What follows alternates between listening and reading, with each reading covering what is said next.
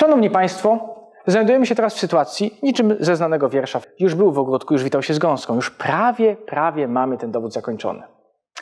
Ale jeszcze pozostał nam jeden przypadek. Pozostał nam przypadek, yy, kiedy kąt alfa jest rozwarty.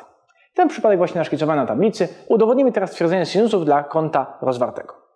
Metoda jest bardzo podobna jak w przypadku kąta ostrego. Coś dorysujemy i to coś takiego, żeby gdzieś na rysunku pojawiała się średnica tego okręgu. Ale sprawa jest odrobinkę bardziej złożona niż w poprzednim przypadku. Zobaczmy. Narysuję tę średnicę teraz na przykład tak. O, o powiedzmy, że ona przechodzi przez środek. Narysuję drugi odcinek tutaj. I podobnie jak poprzednio interesować mnie będzie ten kąt.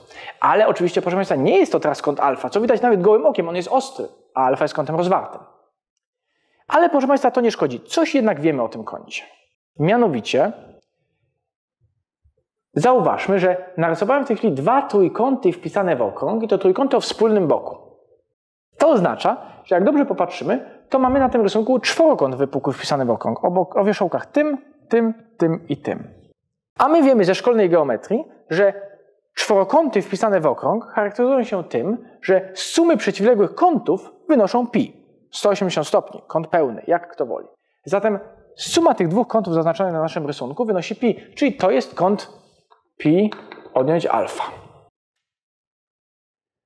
Yy, oczywiście długość tego odcinka to jest 2r, tak specjalnie go narysowałem, żeby to była średnica. Napiszmy zatem w trójkącie prostokątnym oczywiście. Znowu nie widać tego na moim rysunku, ale nie przejmujmy się tym zbytnio. To jest trójkąt prostokątny. Napiszmy w tym trójkącie prostokątnym definicję sinusa kąta pi minus alfa, pi odjąć alfa. Sinus pi odjąć alfa to jest długość boku przeciwległego a do długości przeciwprostokątnej 2r. No dobrze, ale przecież my znamy wzory redukcyjne. My wiemy, że sinus pi odjąć alfa to jest to samo, co sinus alfa. Zatem dokładnie tak samo jak w przypadku kąta ostrego, sinus alfa jest równe a do 2r, czyli a do sinus alfa jest równe 2r. I proszę Państwa, dowód ostatniego, trzeciego przypadku jest zakończony.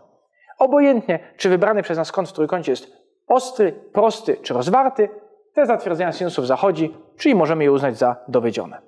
Dziękuję bardzo.